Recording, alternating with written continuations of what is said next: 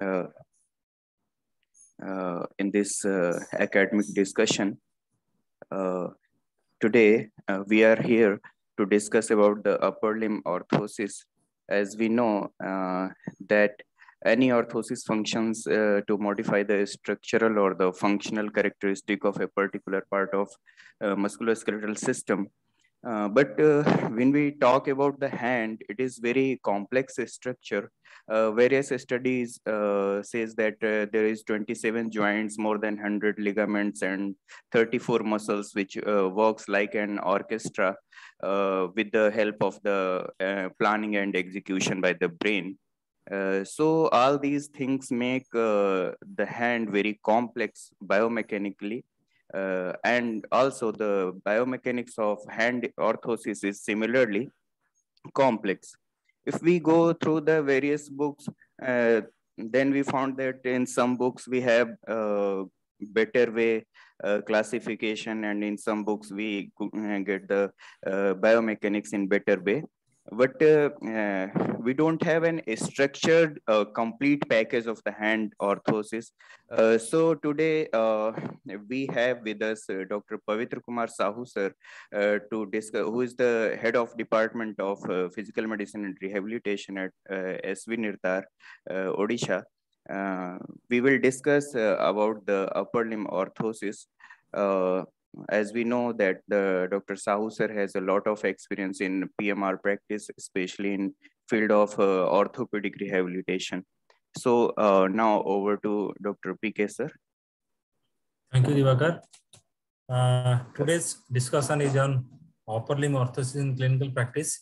Especially, we'll discuss those orthoses uh, uh, which are uh, we use clinically in our routine practice, whether any post-surgical uh, splint or any uh, orthosis related to different disease, conditions. So uh, we'll start with the uh, different uh, classification systems. My presentation will include the classification of orthosis and orthosis used in different clinical conditions. We'll not go in detail. I invite participants please uh, try to involve in this academic discussion. And uh, wherever any queries, also you can ask freely. And if any senior member is also joining to this, uh, his suggestion is most welcome. And any addition, any extra things, if somebody wants to add, uh, please open up. You can open your, uh, you can tell your ideas, you can tell your, uh, share your knowledge on this upper limb orthosis in uh, clinical practice. So uh, without much wasting of time, uh, I think we should start now. Yes. if you look to the introduction part of definition of orthosis,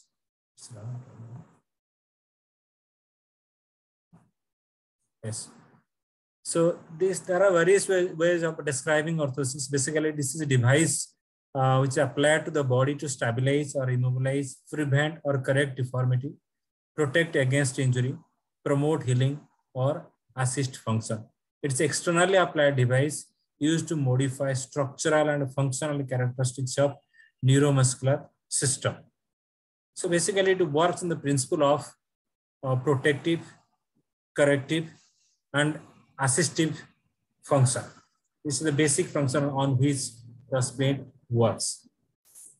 There are a number of ways of classification of uh, upper limb orthosis, but none of the classification system is sufficient to cover all types of conditions. That's why number of classifications are developed. Still, the classifications are emerging in different way.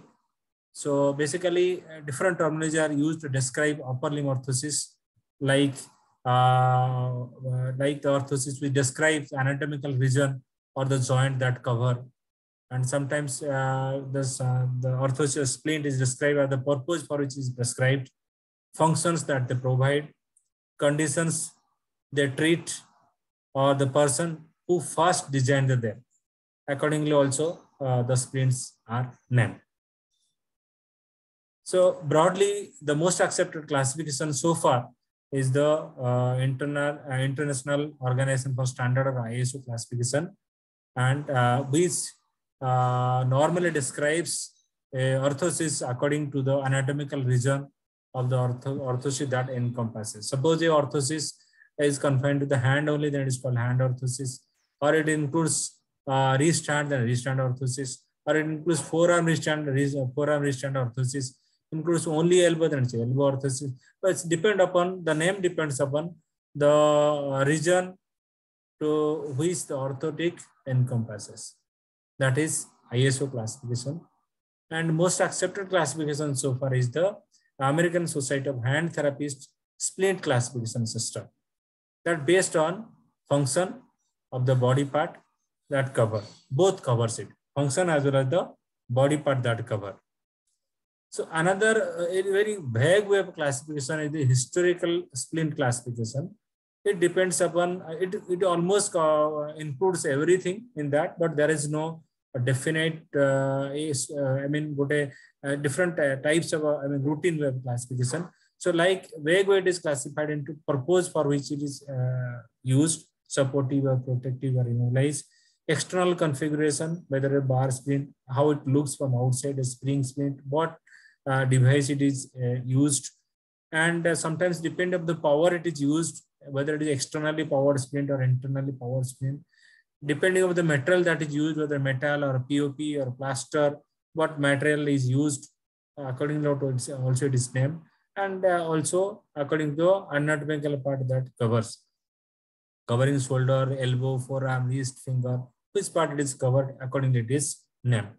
and uh, it's a uh, sometimes according to design categories, category of it is uh, how it is designed, it can classify into uh, static splint and dynamic splints.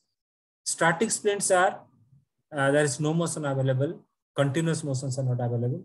So again, it is further classified into five categories. One is non-articular.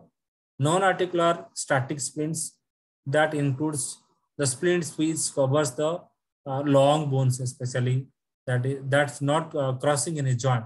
Like a uh, fracture splint for humerus fracture splint tibia fracture splint forearm splint like that. These are all non-articular since it is confined to a particular part of the uh, limb not covering any joint.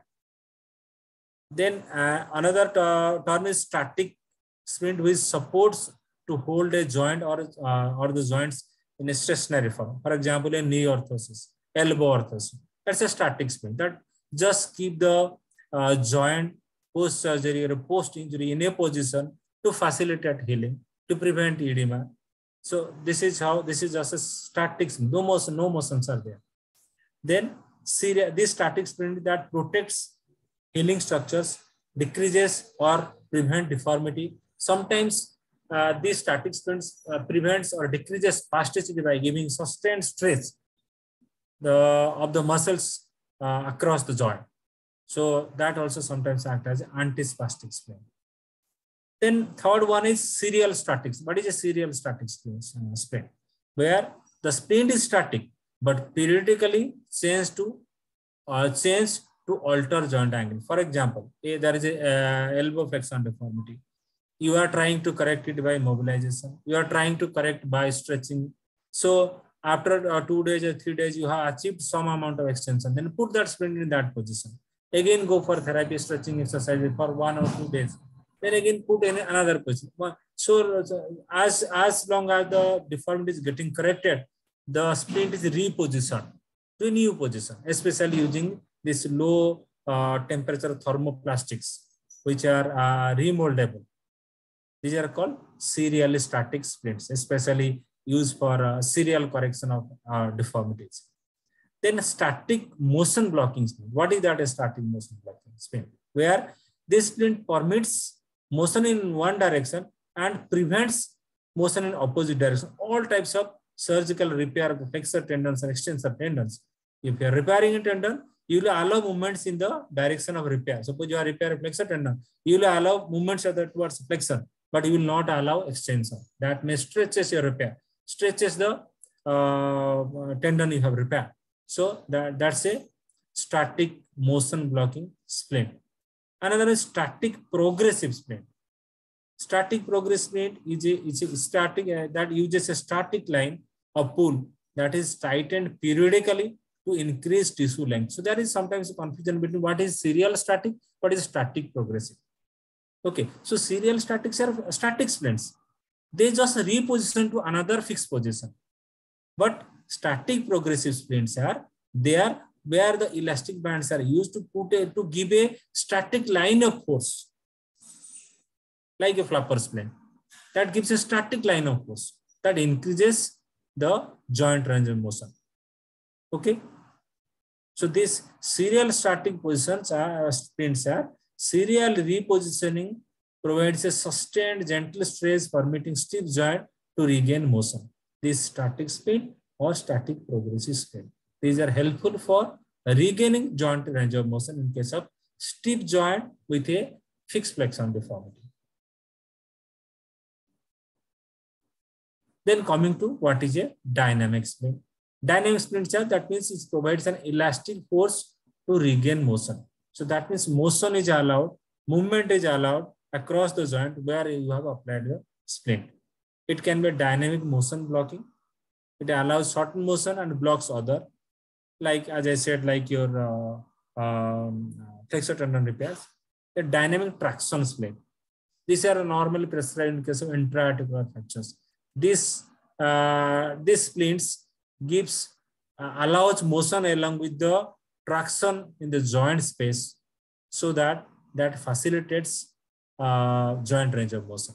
This is especially advised for intra-articular fractures.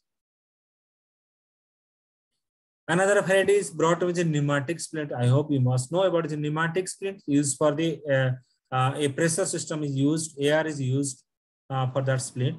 That is especially uh, gives a external pressure over the part of the limb, especially in case of burn scar, hypertrophied scar. So that helps in healing of the scar. That gives a uniform pressure to prevent hypertrophied keloids or scarring. That is pneumatic splint. Tenodesis splint, another broad term, tenodesis splint. Uh, it uh, works in the principle of tenodesis. Uh, is very much useful in case of C6 spinal cord injury where you have a uh, wrist extensor is intact, but finger flexors are absent. To have effective grasp uh, that facilitates function in a hand that has lost due to nerve injury or in case of spinal cord injury.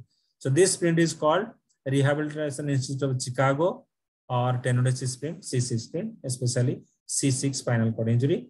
Here, the active wrist extension produces a control finger flexion against a static thumb post. So this splint includes a static thumb, thumb post and allowing finger motion with elastic band or rubber bands. So do, by doing wrist extension, because of tenodesis function, the flexors are stressed and that helps bring the fingers against a static thumb post. That is the mechanism of a tenodesis splint. Sometimes we, we induce surgically induce a tenodesis action for uh, tetraplegics. That is, uh, the, the surgery works in the same principle of tenodesis. That is to have a effective grasp or pinch using long wrist uh, extensors of the wrist, which helps in bringing fingers, flexors or fingers to a fixed thumb. Another is CPM orthosis, the continuous passive motion orthosis. This is a externally powered device attached to uh, the forearm and the rubber bands are attached to that, which is again connected to the fingers, especially mostly used for the stiff fingers. Okay, uh, that because it gives a, con a continuous motion, continuous rhythmic motion across the joint.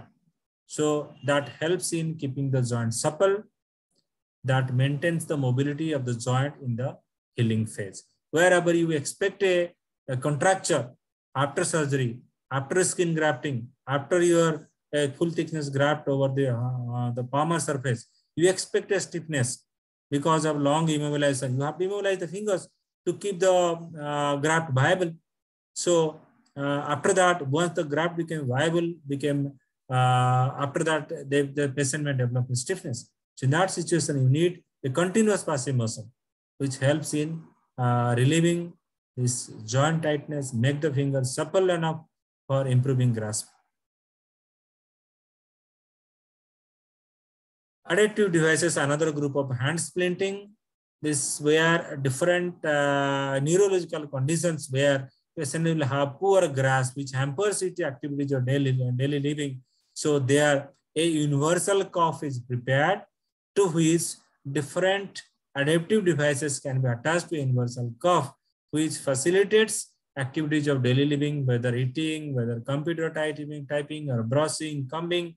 So all these different attachments can be attached to the universal cuff as per the, uh, the function, as per the requirement of the patient, as per the need of the activities of daily living. So the, these are adaptive devices uh, coming under a upper limb orthosis. Some other common terminology used in uh, upper limb of the orthotic practice, upper limb splint practice is short opponens hand splint. What is that a short opponens hand splint? These short opponens hand splints are more, mostly for uh, uh, for immobilizing the either only CMC joint or CMC with the MCP joint or all the three joints like CMCP, CMC, MCP, a carpometacarpal joint, a metacarpophalangeal joint, or IP joints. When it is indicated, it is indicated when there is no involvement of the wrist and the problem is confined to the muscles, the hand and fingers only. If it is involving the forearm, about wrist involvement requires a long opponent span. In different neurological conditions, when there is a weakness of the hand you need to stabilize your CMC. You need to stabilize your CMC and MCP or IP joints. There, this short opponent is used. The components of the short opponent splints are, it has a palmar piece, it has a wrist piece. The palmar piece includes a radial extension, opponens bar. We'll discuss what is the opponens bar. A palmar has a dorsal extension arch and a volar extension arch. So basically, you need to have a thumb post. You need to have a C bar because you need to keep the thumb in uh, 90 degree abduction to the finger plane to have an effective grasp. So these short opponens hand splints that keep maintain the first web space, keep maintain the thumb, and there is a thumb post against which rest of the fingers can come to come closer towards the thumb post to have an effective grasp. This is a short opponens hand splint. It has many name. Uh, can uh, short opponent splint can uh, other way the thumb spica cast can also act like a short opponent splint. So depending upon its function, whether it is a paralytic condition, whether it is arthritic condition, what condition you are dealing with, accordingly it is named. But most of the time it is this, this short opponent's bond is used for the different paralytic conditions of the hand. And these are the parts of a short opponent splint. A long opponent splint the components uh, same as a short opponent splint along with the forearm piece. The short opponent splint is extended towards the forearm. So what happened? It immobilizes the uh, wrist along with its short, short opponens function. This prevents any significant amount of wrist flexion or extension or deviation, either radial division or ulnar division. So when the your neuro, uh, neurological conditions extends beyond wrist, involving wrist, then a long opponens splint is used. Are the indications? When the stable wrist, when you, you need a stable wrist function to improve your finger and thumb function. Okay, in case of spastic wrist flexors, you need to stabilize your wrist for a better finger, uh, better grasp. Okay, stabilize the thumb uh, in opposition for three the three, three jaw chuck pinch in different peripheral nerve injuries. It is used in case of quadriplegia, tetraplegia, or in other upper, upper motor neuron disorders. When you need a to stabilize, you know, in all most of the times a spastic uh, wrist, the wrist has a, always a tendency of the wrist flexion. It's because of over spasticity of the flexor carpi ulnaris. So any grip in flex uh, wrist flex condition is not an ideal grip. The strength will not be adequate. So wrist need to be stabilized or little bit dorsiflexion to have an effective grasp. Okay, so this is the reason why a long opponent splint is used to stabilize the wrist along with also providing a, uh, the thumb post against which all the fingers will come together for effective grasp. Many times you must have seen that in your uh, orthotic prescription or splint prescription, you advise a C bar. What is that a C bar? This C bar is either is uh, either in the uh, short or long opponent splint.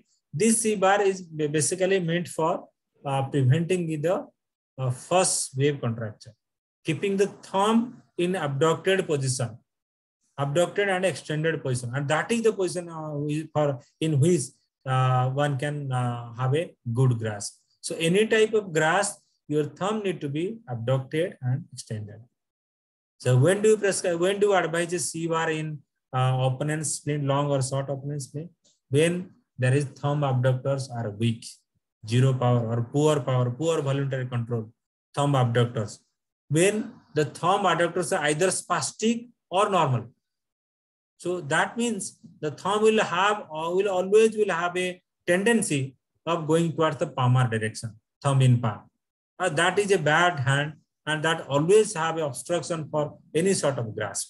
So your thumb need to be repositioned. Your thumb need to be uh, splinted so that uh, on the process of a recovery, the hand function will recover. There will be no uh, flexor contracture there is no first web space contracture or thumb contracture which uh, causes hindering in grasping. Okay, so the function of C bar is to correct tightness of the web space or web space prevent web space contracture to permit the thumb, thumb to oppose with the other fingers. So this C bar is a curved piece, either stainless steel or aluminum can be used, normally reverted to the palmar arch of the short opponent splint or long opponent splint in such a position that it holds the MP joint of the thumb in abduction and extension.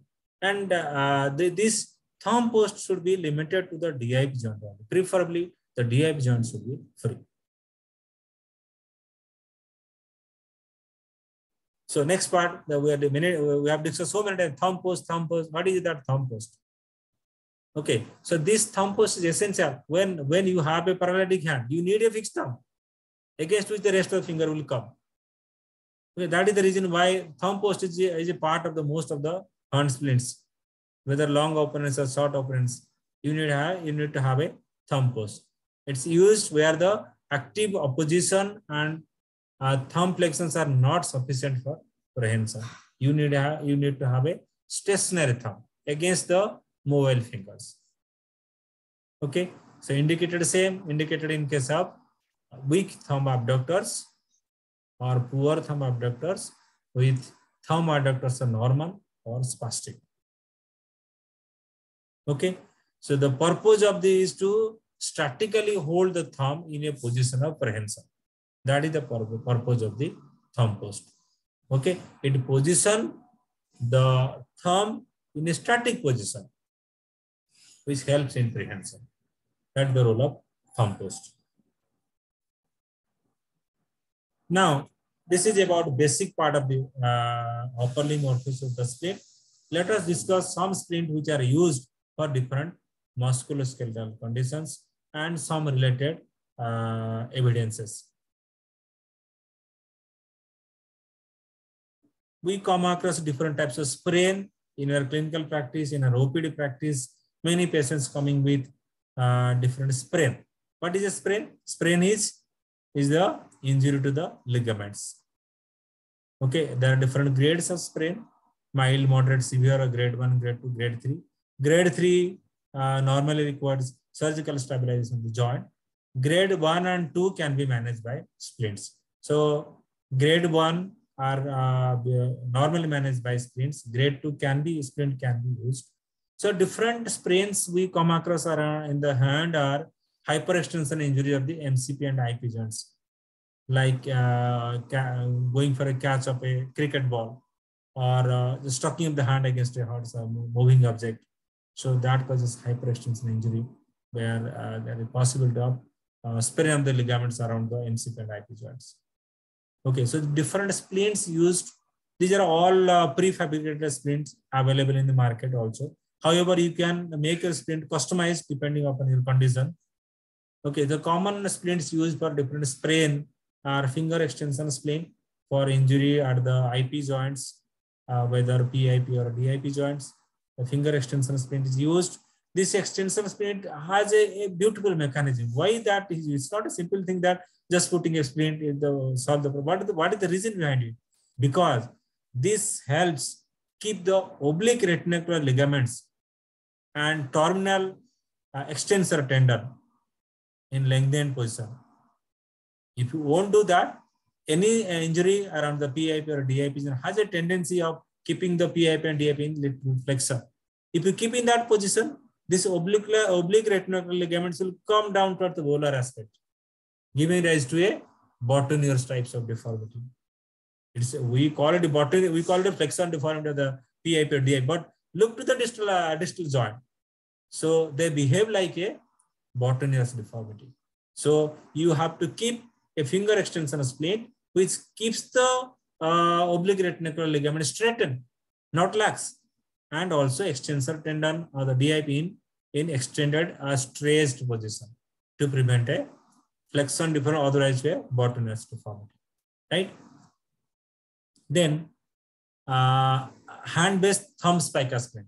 Thumb spica sprain, why it is prescribed? When the what is the common type of sprain? Common type of sprain around the thumb for which the thumb spica sprain is advised is the gamekeeper's thumb. That is ulnar collateral ligament injury of the MCP joint. MCP joint of the thumb. That is called gamekeeper's thumb. Holding a object or directly hitting on the medial side of the thumb stretches the ulnar collateral ligament of the MCP joint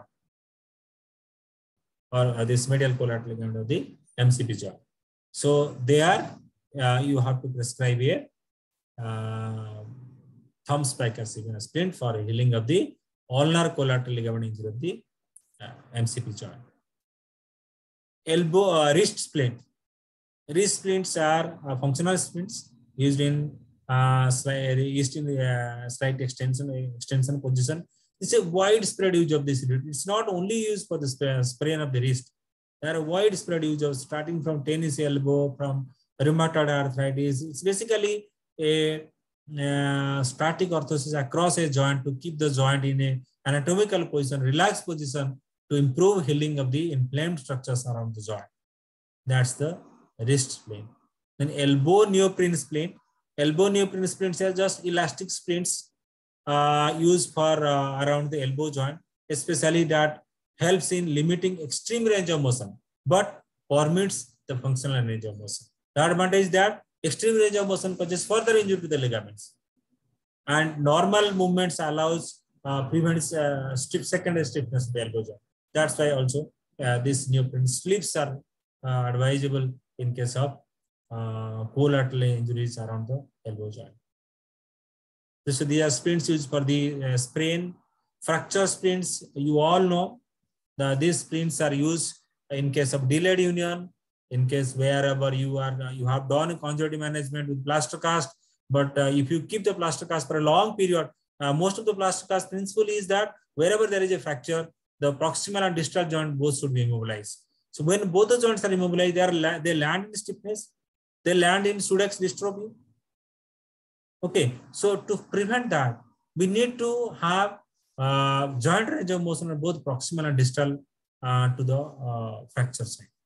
So uh, this is the fracture braces which immobilizes the fracture, which supports the fracture, promote healing, and also allows movement to the proximal and distal joints. This movement allow improves circulation, also improves healing indirectly. So these are all fracture braces, humeral fracture base, forearm fracture base, and certain traction splints in interarticular fractures. They are all fracture braces and the principle behind them. These are all different types of braces. You can uh, uh, you can uh, customize it by uh, preparing, advising your uh, orthotic prosthetic friend. You have to describe how you have to describe what do you exactly want, what joint you need to be immobilized. For example, in case of tibial fracture, you have to ask them to prepare a PTB type of uh, fracture brace. So similarly, for case of humerus fracture brace, your distal end extent must in, uh, uh, covers the olecranon process the ulna. So uh, unless you don't have a basic knowledge on this, you, you will have to advise your uh, prosthetic orthopedic person that what type of adjustment is required and what is the proximal and distal extent of the uh, fracture base. This is gutter splint, very universally used gutter splint, uh, uh, advised for many conditions, whether it is a skin grafting, whether it is a contracture, it is stretchable splint, or it is spastic uh, contracture of the IP and DIP joints, which is stretchable. So, and in case of uh, bone contractures also, uh, a deformity which is stretchable deformity, these gutter splints are used.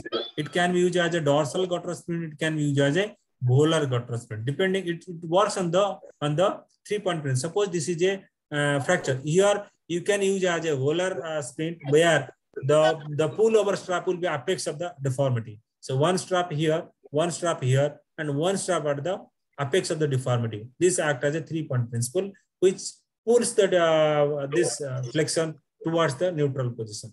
Okay, the same thing you can use dorsal aspect also. Dorsal aspect, uh, one thing will be here, other will be here, but normally in flexion deformity, the flexion one, the severe deformity, the flexor aspect application is better. So flexor gutter splints are more advisable. Only extensor gutter splints or dorsal gutter splints are advisable when you have done a, a skin grafting on the volar side. So you are you have make it straight. You have put graft on the volar side. You want to prevent prevent further flexion deformity. There you have to put a dorsal gutter splint. Why? If you put uh, volar gutter splint, your uh, grafted skin get macerated. So you have to put dorsal gutter splint with selective straps on the healthy area so that you will not much disturb to the grafted skin. So dorsal gutter splint and volar gutter splint. Mallet splint for the mallet finger, you know, mallet's uh, finger is a avulsion of the extensor tendon from the base of the distal phalanx. It normally avulses with a, a piece of chunk of bone. That's why it's called avulsion of the extensor tendon. Uh, this can this is a very commonly used splint for called mallet splint, mallet finger splint. This keeps the uh, DIP joint in extension so that the uh, the chip bone fragment will fall back to its original position and enhances healing. This is mallet finger splint. Elbow orthosis, there are different types of elbow orthosis available. Either it can be straight elbow orthosis, simple elbow orthosis, or static elbow orthosis. It can be dynamic elbow orthosis. It can be static progressive elbow orthosis. So depending upon the indication for which you are, you are prescribing. A simple elbow orthosis used for the uh, cubital tunnel syndrome. A simple elbow orthosis can be, can be used as a uh, elbow gaiter for all types of uh, uh, spastic hemiplegia. You need to prevent a flexor synergy. So you have to put a elbow gaiter, a elbow orthosis, which keeps the elbow in straight position. But sometimes you need to prescribe a, a static progressive elbow orthosis. You suppose somebody has done a fracture uh, fixation of the radial head, fracture, distal humerus fracture fixation, where there is intra-articular fracture likely to develop stiffness. It's our job to maintain the, uh, give the person, the patient with a functional upper limb by uh, improving the range of motion around the elbow. So here you can, uh, a, a, a, this is a uh, joint is given here, uh, which is which gives you idea about the how much of the range you have gained. Okay, so uh, there are different types of joint available for this type of elbow orthosis.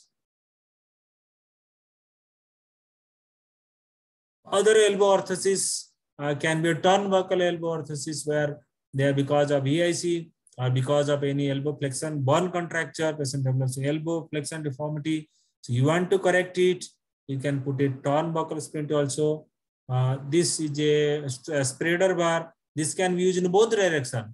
If you want to distract it, the flexion elbow deformity will be corrected. If you want to gain range of motion, flexion range of motion, you can have a compression rod. Just go on tightening the knot, the threaded length will decrease. It will allow more and more flexion. So this is a beautiful concept that uh, many times you will be just fatigued by advising uh, all types of therapy, which is not helping in achieving range of motion, at least a minimum functional range of motion so that the hand can come up to the mouth. So this is beautiful orthosis. You can use in either way. If it is flexion deformity, you can correct by applying a distraction rod. If it is a, a stiff elbow, you want more flexion, you can have a compression rod, which gradually, gradually allows uh, elbow flexion by twisting the rod. Okay, so these are elbow orthosis. Volkmann's turnbuckle splint. Uh, very often the flexion contracture of the forearm are common in uh, upper limb, uh, Volkmann's ischemia. There you have to see what is the grade of the um, uh, Volkmann's ischemia contracture. It is a mild grade or too moderate grade, it can helpful. Or if it is moderate grade, you have operated, but still you are not able to correct completely. You first as you go surgery, release all scar tissue. After that, you can apply the uh, this uh, turnbuckle splint. Turnbuckle is the this is the distraction rod. Is the distraction rod for so suppose patient is this is a VIC patient with this this flexion contracture, long flexion contracture. You can apply this uh, threaded rod here and gradually gradually distract it and gradually to correct the resistance. It's work very beautiful way. The even with your best effort also you cannot correct the flexion deformity by adequate release of the long flexors. If you over lengthen it, you patient may develop with a poor grasp. But here is a uh, is a uh, orthosis way which helps in preventing weakness of the grasp because it's a control method of stretching the long flexors. In contrast to surgical lengthening of the long flexors that land with a weakness of the hand. But this here, the weakness of the hand, chance of weakness of the hand is less. This is a Volkmann's turnbuckle splint. But only you must know where is the, what is the best indication for uh, using this one. What is the, in which stage you should prescribe this turnbuckle splint. Then uh, different orthoses or splints used for tendinitis, tenosynovitis, enthesopathy. Basically, these are all cumulative trauma disorders. These are chronic problems, chronic degenerative problems. Uh, we, you all know about the pathology of different uh, tenosynovitis conditions.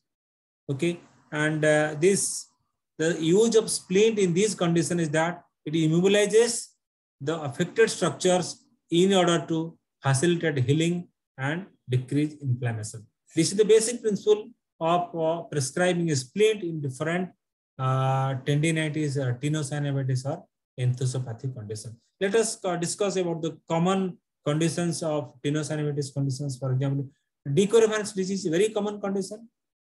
Here, a forearm-based thumb splint is advised. There are a number of literatures showing its effectiveness, showing less effective. So I have gone through certain literatures in favor of, in against of this splint. Uh, this is this is the uh, Journal of Hand Surgery American volume that says that there is limited role of splinting in pain relief, but we prescribe it. Other journals say that the thumb uh, ultrasound along with the thumb spica shows better outcome. This indicates that the splint is a adjunctive treatment. It is not a sole treatment. It's an adjunctive treatment either in addition to the medication, in addition to the therapeutic modalities. Okay. And some studies also shows that when spica is added to the steroid injection, that has a better outcome than the steroid injection alone. That means the splint has a role. Okay. So another study in disability rehabilitation assistive technology, they says that there is a modified dynamic orthosis to improve pinch, pinch and radial. If you use a static splint, probably the, the pinch and grasp will be affected because there is no more motion at the MCP or CMC joint of the thumb. So the splints are developing, people are developing splints design, which allows also this uh, some amount of functional movement, not all movements, some functional movements are allowed there with this uh, dynamic thumb spica splint. Then tennis elbow, one other another uh, common condition. Every OPD will find one or two tennis elbow patients along with the medical management. Along with the medical management, we uh, prescribe this splint, whether a tennis elbow or golfer's elbow, whether it's extensor uh, involvement or flexor involvement, but the splint is almost applied the same position. It is around uh, two fingers breadth below the uh, lateral epicondyle of the uh, elbow joint. So that is the position. But uh, uh, the, this, although we all are prescribing this tennis elbow splint, but there are other researches also says that depending upon the pathology, here the pathology in the common extensors. So in tennis elbow splint, that act as a uh, this band that uh, changes the lever arm against which the wrist extensors pull that keeps the extensors origin at rest. So sometimes it is called that the uh, this uh, tennis elbow strap act, uh, act as a second origin of the extensor. That means the stress of the extensors at its insertion, at, uh, sorry, at its attachment the lateral condyle is shared by this tennis elbow splint. However, the studies are still going on to see that why it will be, uh, only only will be uh, stick to the attachment or uh, common extensor origin. We can also relax the muscle by applying a wrist splint in in little bit dorsiflexion position that relaxes the extensor. That also relieves pain. This uh, this is published in European Journal of uh, Physical and Rehabilitation Medicine 2019 volume, which shows that usefulness of wrist splint for tennis elbow. So other options are there also biomechanically, which proves correct. And one more journal on journal of shoulder elbow surgery that shows that the forearm hand spinal brace. They use this forearm hand spiral brace. This they have seen that the wrist extension splint is more effective than a forearm strap. So number of options are there. The basic function is to relieve stress over the extensors, whether below elbow or by dorsiflexing the wrist. Trigger finger. Trigger finger, uh, the goal of splinting here is the that prevents repetitive motion temporarily to allow healing. So what happened trigger finger? There is cumulative trauma, the flexor tendon sheath that causes thickening of the sheath, okay, and restriction of the tendon motion inside the thickened sheath. Okay, night splinting is a non-invasive treatment option for idiopathic trigger finger or trigger thumb with symptoms of less than three, three, three months. So this question arises whether the splinting will be effective in the daytime use or splinting will be effective in the nighttime use. Okay. So uh, some papers shows that the night splinting is also enough, but uh, the symptoms should be less than three month duration. If the symptoms are more than three months duration, the thickness is very much fibrous, the splinting may not be helpful, and this night splinting certainly will not be helpful. So this night splinting is only helpful for early cases of trigger finger of less than three months duration. Okay, here the functional use of the hand when the affected finger is immobilized. The principle that the affected finger must be immobilized, but rest of the finger should move. There is a uh, the article published in the uh, Journal of Hand Microsurgery. Somebody has tried to preparing a trigger finger splint from a 50 ml syringe. You can see this picture. The 50 ml syringe is cut like this, and it is uh, a thin ethaplex is attached in the under surface of the uh, this barrel of the uh, a 50 ml syringe. This is innovative idea somebody has applied. When the splint is not available, one can try with this also. Okay. okay. Not a, not a.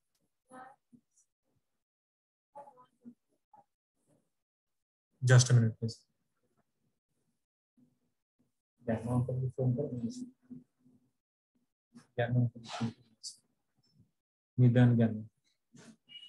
Okay, so uh, different evidences are there.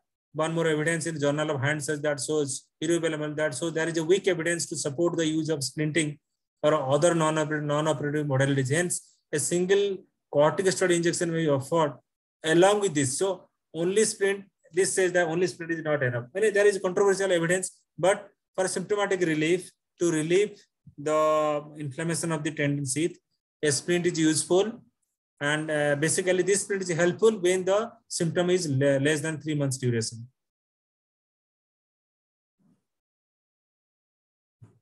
Then uh, rheumatoid arthritis. Rheumatoid arthritis, there are different splints are used because there are number of deformities observed in rheumatoid arthritis. These uh, the deformities are, are affecting the small joints which are progressive in nature. If no attempt is made to uh, give them rest to protect the affected joint from overuse, they land with a fixed deformity. Once fixed deformity develop, probably none of the splints will be helpful. So these splints are very much useful in early stages when the deformity is just in a progressive stage. Okay, so different splints used are depending upon the different uh, deformities, ulnar deviation splint, wrist splint, swan neck splint, and boutonniere splint. Okay, so all these things are because of chronic synovitis uh, of the uh, uh, around the joints, which causes uh, lacks of the ligaments leading to different deformities. So ulnar deviation splint, we have a classical uh, deformities in uh, rheumatoid arthritis. It is the uh, this is wrist flexion deformity, ulnar deviation deformity of the at the MCP joint, boutonniere deformity at the PIP joint, and swan neck deformity at the DIP joint. So you all know these are the different types of splints used. Swan neck deformity, this ring splint is helpful for both the purpose, even for the boutonnieres, for the swan neck, both purpose can be used. But principle is that because the, both the sites, the PIP joint is the uh, site of pathology. Okay, and this is the MCP joint ulnar deviation can be managed by with a ulnar deviation stop. Forearm wrist and split with a ulnar deviation stop. Again, there are the evidence are there are different evidence in different journals says that the benefits of wrist splinting in patients with rheumatoid arthritis says wrist stabilization improves hand function in patients with rheumatoid arthritis. So we should not ignore about the uh, wrist part. We should not only focus to the MCP and IP joints. The wrist must be also splinted. Uh, uh, another article says that splinting and hand exercises for three common hand deformities in rheumatoid arthritis. Uh, a clinical perspective says that the splinting and hand exercise, exercises are most beneficial when prescribed in early and flexible stages of deformity. I repeat these things. Uh, the deformity must be noticed in the early stage and early prescription of splinting can prevent a fixed deformity which requires surgery. Osteoarthritis in upper limb, though it affects the lower limb weight-bearing joints, but CMC joint, the common joints affected by osteoarthritis. And uh, these uh, thumb spica splint, hand-based thumb, uh, thumb spica splints are very much useful for this CMC uh, affection in osteoarthritis and CMC joint. This provides a functional positioning of the thumb and relieving pain and prevent deformity. This is uh, a hand-based thumb spica splint. Coming to splints in different nerve injuries and related uh, related evidences, that in case of radial nerve injury, we all know it can be a if it is a high ulnar nerve, radial nerve injury, you'll have wrist and finger drops both. If the low radial nerve injury, there will be finger drop. So the principle here is that since the extensors are weak, you have to support the extensors and at the same time also you have to prevent uh, overactive the relative overactive the flexors so in in case of a radial uh, wrist drop and finger drop the hand will remain in this position. What will happen? There will be uh, gradual development of the flexor long flexion contraction flexor contractures. So you have to support your extensors. Support extensor till it recover if it is a neuropraxia if it is axonotmesis where you expect a recovery. So you have to maintain the extensor length so that in the process of recovery, the extensor's power will regain. At the same time, also you prevent contracture by, by uh, preventing flexion of the wrist joint and also keep maintain the movement of the flexors. You apply assistance to the extensors and the rubber, the finger flexors act against the rubber band. So you strengthen, the, you are strengthening the flexors and also maintaining the length of the extensors. That is the principle behind a uh, splinting in radial nerve uh, palsy. These are splints, forearm, forearm based dorsal outrigger splints. This is a forearm based dorsal outrigger splints. These are elastic bands which keep the uh, tendons in extended position. Then uh, if the thumb is also affected, you have to have a uh, thumb post or assistance the thumb also. So the goal of splinting here is enhances wrist and finger extension. There are different uh, uh, prefabricated uh, splints are also available. Dynamic radial palsy splint. Different prefabricated. You can customize as per your choice or ready-made splints are also available. Median nerve palsy mostly affecting the thumb. They develop a simian hand. What is that simian hand? That the thumb, because of absence of the abductor pollicis brevis, flexor pollicis brevis, and adductor pollicis. So what will happen? That the thumb will be remain in the plane of the hand. The thumb will remain in the plane of the hand. Normal thumb is 90 degree to the plane of the other fingers, the plane of the hand. But in case of median nerve injury, since the short abductors extensors are absent or weak, there will be the thumb will fall back to the plane of the hand. So your aim is to keep the thumb in abducted and extended position. That is the principle of the uh, median nerve injury splinting. If you keep the thumb in that position, your rest of the fingers are working because of your uh, ulnar nerve is intact. So grasp can be improved by using this splint. Okay, so the different dynamic splints are available, static splints are available, where uh, the splint helps in keeping the thumb in abducted and extended position. Ulnar nerve injury, if it is isolated ulnar nerve injury, you will have a Benedictine hand or a ulnar claw hand. Either both the nerves in a total claw hand. Okay, here, if it is total claw hand, the we normally prescribe a Kapner splint.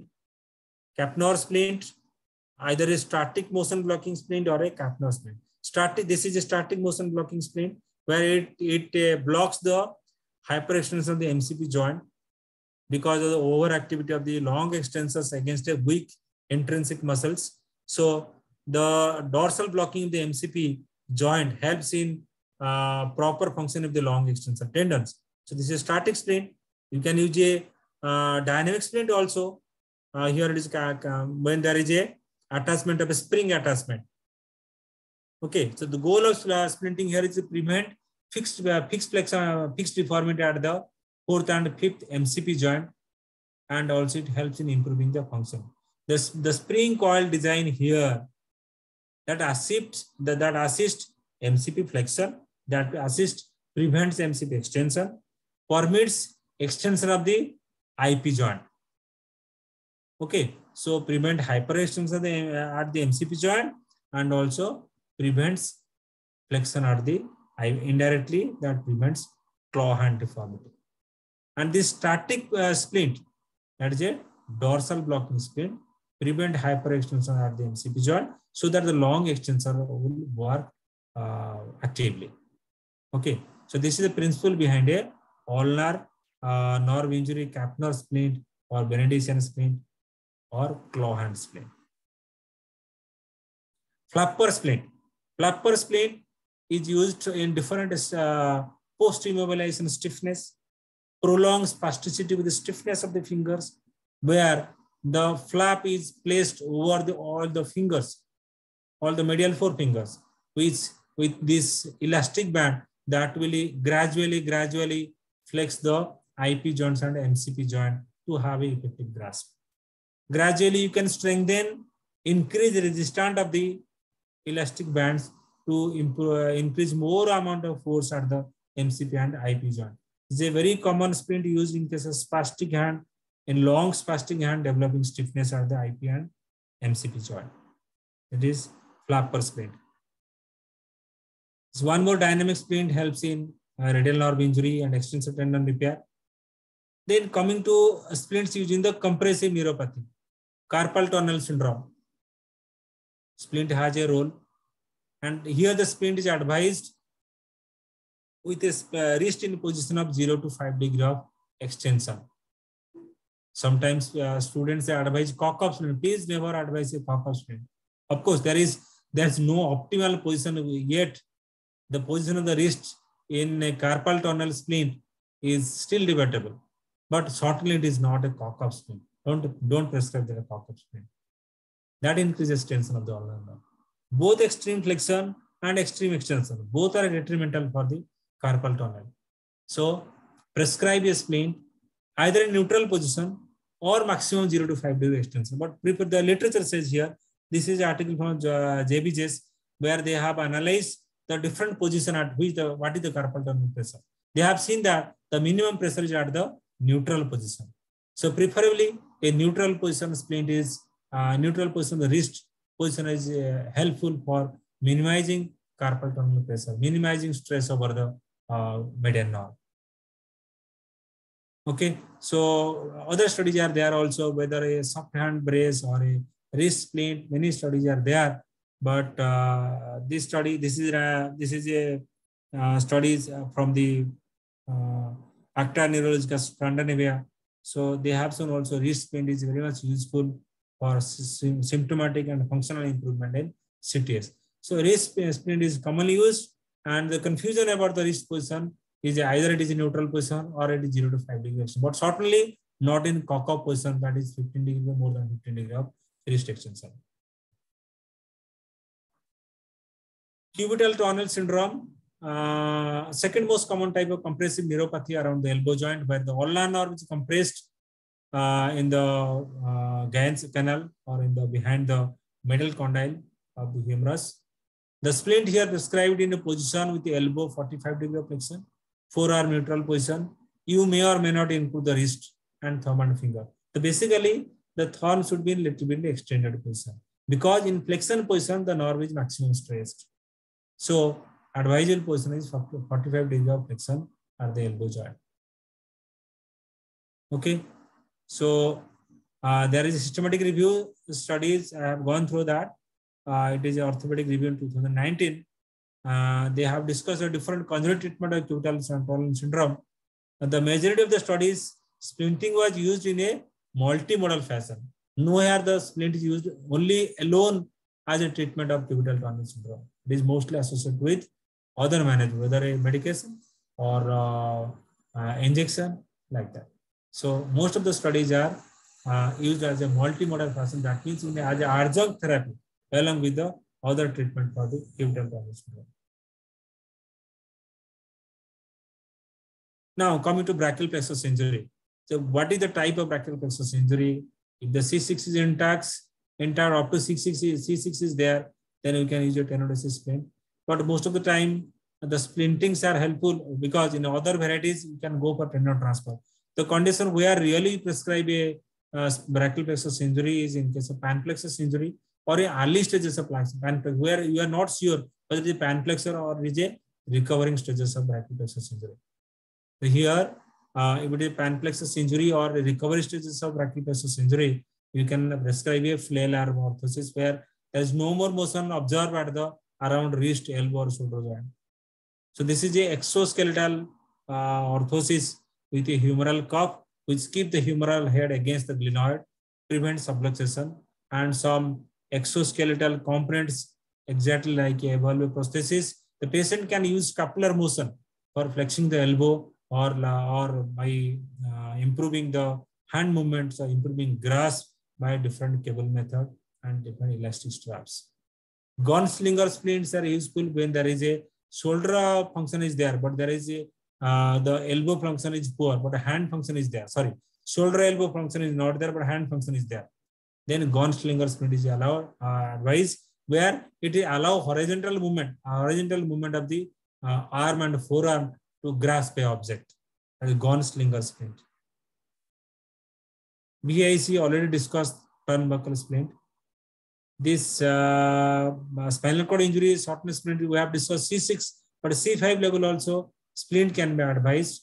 The splint advised the mobile arm support splint, uh, where uh, the shoulder strength is used for distal uh, hand function, same as like a uh, this uh, upper limb prosthesis using our Bowden's cable system for below elbow orthosis using the scapular protraction and retraction movements, you can have a distal uh, distal segment function.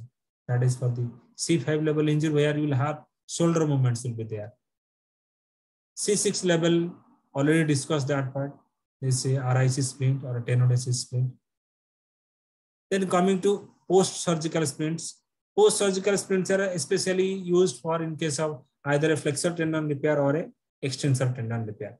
The flexor tendon repair are the Claude splint. I want to describe here what is the principle behind a flexor tendon, a splinting in case of flexor tendon repair. The principle is based on you support the repair tendon, you allow some movement the repair uh, the repair tendon so that the peritendinous adhesives adhesions can be prevented. At the same time, also you have to strengthen the antagonist group of muscles, that is extensor group of muscles. So this uh, Claude splint or Duran splint, they uh, uh, solve the, the same purpose where this uh, loop with the rubber band, this supports or assists elbow flexion. At the same time also, when you extend the finger against this resistant band, you are uh, uh, strengthening the extensors. So by strengthening extensors, there will be a gradual control motion of the finger, which prevents overstretching of the repair tendon and also prevents peritendinous adhesions. Unless you, if you press only static splint, yes, it will allow healing of the repair tendon, but at the simultaneous also it enhances peritendon adhesions. So uh, after three months, when you take out the splint, patient will, uh, will not have any adequate motion for that tendon. The tendon is adhered to the surrounding structures. So flexor tendon repair, the initial three weeks, one should give a static splint in the form of plaster cast or in the form of a, a polypropylene or polyethylene brace, but followed by after three weeks, uh, one should prescribe a dynamic orthosis which supports the repair tendon at the same time also provides a control motion of the repair tendon. That is flexor tendon repair splint. The extensor tendon repair splints act in the same way, uh, the same principle where the splint will support, assist the extensor tendons at the same time also strengthen flexor tendons at the same time also provides a controlled motion to prevent this peritendinous adhesions. So here the splint, extension tendon splint is associated, will have parts like uh, with a wrist static extension, MCP, IP, dynamic extension, then active flexion of the MCP joint permitted with the constant of the splint about 30 degree. But I'm telling you, my purpose of telling is that we have to allow some guided, guided motion. So by that, you can maintain the strength of the antagonist, also support enhances healing of the repair tendon. Extensor tendon uh, injury in case of long extensor tendon injury, that is the mallet finger, the static mallet splint is used uh, as a hyperextension, keeping the joint in hyperextension, which enhances the healing. Cross injury. Cross injury where uh, the muscles are crossed, the tendons are not defined. There is a possibility of the uh, fibrosis of the cross muscles. So in early stages, as soon as the external wound is healed, from the very beginning, the splints are used to maintain the range of motion for, for the, of the uh, either flexors or extensor, depending upon which compartment is injured. Burn injuries are detrimental for the upper limb, especially when it is around different joints, whether around the axilla, around the elbow, around the wrist. We all have a tendency of keeping the joints in a flex position. That is the position of each. So that develops uh, the contractures at the axilla, adduction contracture at the axilla, flexor contracture at the elbow, and uh, your uh, contracture of the wrist joint, flexor contracture of the wrist. Just a minute.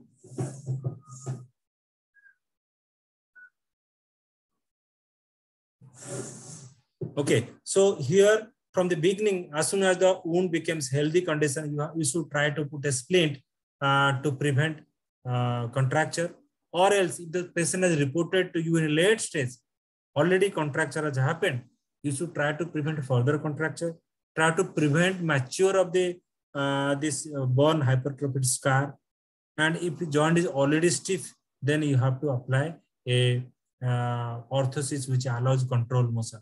So commonly used orthosis or splints are airplane splint. Airplane splint is a splint which prevents uh, used in case of burn contracture of the axilla. The extended indication are uh, fracture non of the humerus.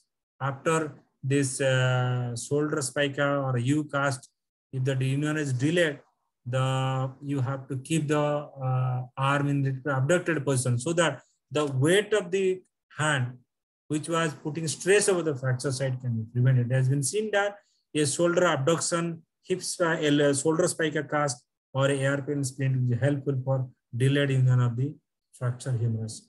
Also, it helps in axillary burn contracture.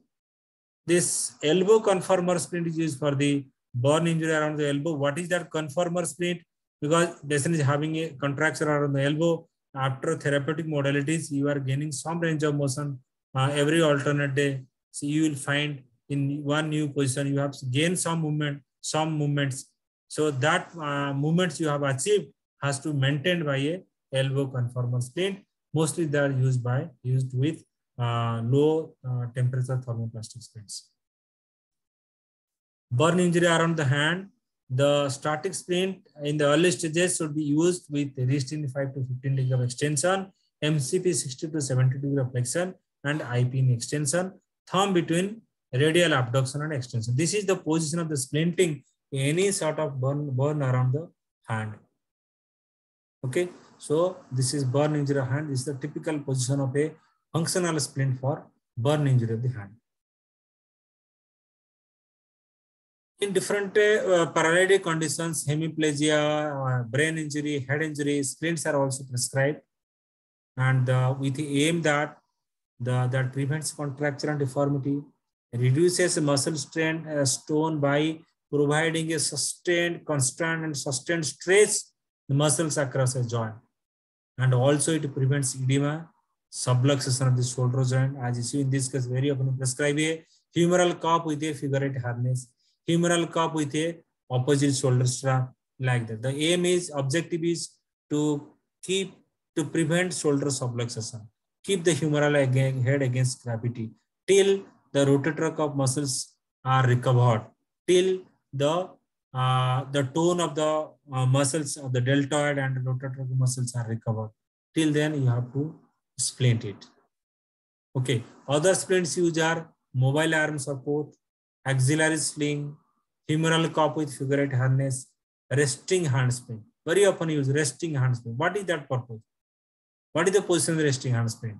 Resting hand splint must be positioned with wrist in slight extension, MCP in slight flexion, IP joint in extension.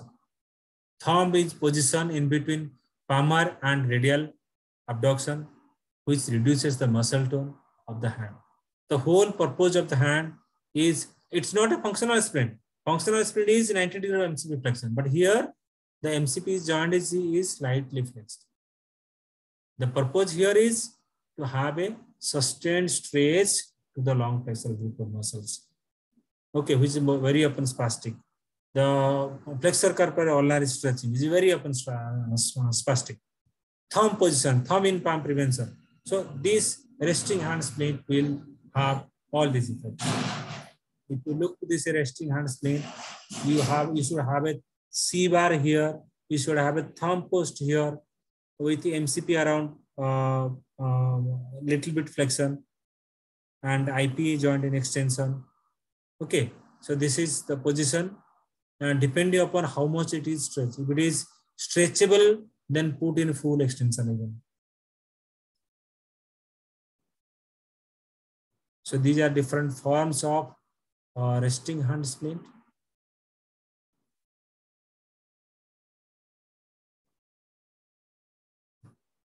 So uh, to conclude, a basic knowledge of upper limb orthosis will definitely help not only providing a uh, bone union, also better functional recovery in all types of surgical conditions, all types of the inflammatory or arthritic conditions, or surgical repair, or uh, different uh, disease conditions. So a basic knowledge on splint principle of splinting, why are you splinting, what is the extension of the splint, what is the duration of the splinting, what is the time of use of the splinting. All these things should have, you should have basic knowledge uh, for prescribing splinting. It is not that just advising the splinting, uh, go to PO department, go to prosthetic orthopedic. So you are the person who will decide what type of splint need to be given. You are the person who will decide the, what type of customization need to be done for a particular uh, condition. So it's the splint is not as like a generalized, just write a cock splint. So that is the prescription of a uh, non-PMR person. Any, any, whether it may be a neurologist or it may be orthopedist and it may be plastic surgeon. That is their role. They will just prescribe a splint. But it is the physiatrist who knows about the what is the exact extent of the splint, what is the exact uh, duration of the splint, what is the principle of the splint, what is the um, customization of the splint, what exact modification need, uh, is required for a particular condition. Okay, so uh, for all youngsters, uh, since most of the institute they don't have a separate prosthetic orthopedic department, I have seen, so they are poor in this uh, this orthosis. Please uh, have a look this presentation during your in the it's available on YouTube also. It will be available on YouTube and also go through the books also. You will find that uh, different dimensions, different indications display. So with uh, this, I will uh, stop here. It's already time 8:45. Uh, if uh, there if there is any question, please um, uh, open up and you can ask any type question. And if any senior members are there with us, they can give their comments. Thank you, sir. Am I audible, sir? Yes, yes, you're audible. Uh, sir, thank you for a wonderful presentation. I think uh, you have covered biomechanics and uh, classification and basic principles along with the uh, evidences behind the orthosis in very elaborated and comprehensive manner. Uh, I again invite the questions from the audience. Uh, actually, I have uh, already put a message for uh, uh the questions, but I don't find any question in chat box. If uh, anyone want to ask anything, please come in front. Please put his question.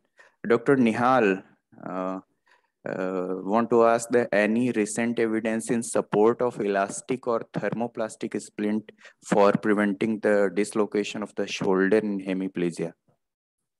I tried through some literature, some systematic reviews, but none of the uh, uh, systematic review had a confirmatory message that this splint is useful for the shoulder subluxation. They have variety of evidences. Some uh, some uh, says uh, along with the stimulation to rotator cuff, stimulation to the deltoid, along with the splinting part. But none of the splints are confirmatory, whether axillary splint or a thermoplastic splint or a elastic bandage. So none of the splints is better over the other. Okay, thank you, sir. Any more questions?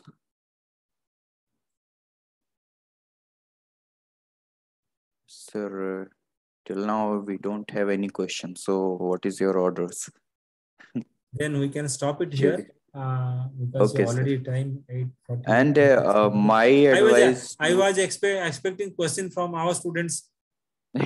Yes uh, and in last uh, my advice to all audience that uh, participating in this uh, webinar is not sufficient. Please go uh, that uh, what is the purpose of putting the this these videos in youtube? These are for revision purpose. Until unless you are not going to revise it you will not mug up with it. So please everyone go and also please start practicing in your clinics what uh, we are learning in uh, the webinars uh, so that by doing these, we will mug up with these things. Okay, thank you, sir. So, uh, see, for preparing this presentation, somebody has to take a lot of effort to prepare this. So, this presentation should not go to waste. Uh, try yes, to sir. go through this uh, presentation. I hope you will get benefit certainly in your clinical practice. So before closing, uh, there is customary, since I am organizing this, I have to give a vote of thanks to uh, all participants and especially the thanks to the PR team of the IAPMR who is uh, preparing this uh, link and uh, giving us the platform, Zoom platform for this webinar and also publicizing this webinar in different platform. And I must thank all the office bearers of uh, Odisha Association of Physical Medicine and Rehabilitation, APMRO, as well as uh, the office bearers of Indian Association of Physical Medicine Rehabilitation for supporting us uh, in conducting this webinar fortnightly. Hopefully, uh, our some of our seniors have given consent uh, for presentation in near future. The probably the next uh, presentation will be on lower limb orthosis by one of the senior most faculty, Dr. B.D. Athani sir. He has today he has given his consent for presenting the, the his presentation. I hope uh, we all will join and enjoy the academic piece presentation by the Dr. Dr. Athani. Until then, uh, I'm uh, stopping here. I once again thank everybody who has whoever has joined this webinar. Thank you all. Thank you. Thank you, sir. Thank you, sir.